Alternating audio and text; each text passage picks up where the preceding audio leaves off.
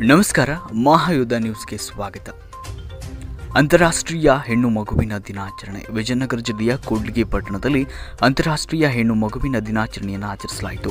ಈ ಪ್ರಯುಕ್ತ ನ್ಯಾಯಾಲಯ ಇಲಾಖೆ ನೇತೃತ್ವದಲ್ಲಿ ವಕೀಲರ ಸಂಘದ ಪದಾಧಿಕಾರಿಗಳು, ಕಾನೂನು ಸೇವೆಗಳ ಸಮಿತಿ, ವಿವಿಧ ಸಂಘಟನೆಗಳು ಹಾಗೂ ಮಹಿಳೆ ಮತ್ತು ಮಕ್ಕಳ ಕಲ್ಯಾಣ ಇಲಾಖೆಯಿಂದ ಕಾರ್ಯಕ್ರಮ ಮತ್ತು ಜಾಗೃತಿ ಜಾಥಾವನ್ನು ನಡೆಸಲಾಯಿತು.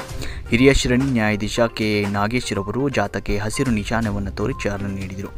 ಸಿಡಿಪಿಒ ನಾಗನಗೌಡ ಅವರ ನೇತೃತ್ವದಲ್ಲಿ ಅಂಗನವಾಡಿ ಕಾರ್ಯಕರ್ತೆಯರು ಮತ್ತು ಸಹಾಯಕಿಯರು, ಪ್ಯಾನೆಲ್ ವಕೀಲರಾದ ಸಿ. ವಿರೂಪಾಕ್ಷಪ್ಪ, ಬಿ. ಸಿದ್ದಲಿಂಗಪ್ಪ, ನ್ಯಾಯವಾದಿಗಳು ಹಾಗೂ ನ್ಯಾಯಾಲಯ ಸಿಬ್ಬಂದಿಗಳು ಮತ್ತು ಸೇವಾ ಸಮಿತಿಯ ಸಿಬ್ಬಂದಿಗಳು ಹಾಜರಿದ್ದರು.